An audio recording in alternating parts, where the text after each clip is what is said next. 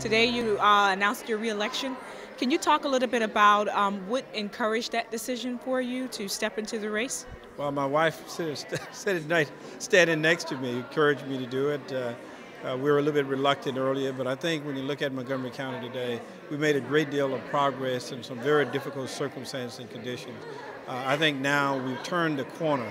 I want to make certain that we continue that momentum in job growth, continue that momentum in terms of ensuring that we have a sustainable budgetary format going forward, and continue the momentum to make certain that we have this sort of welcoming community and ensure that we have the change that we want in Montgomery County.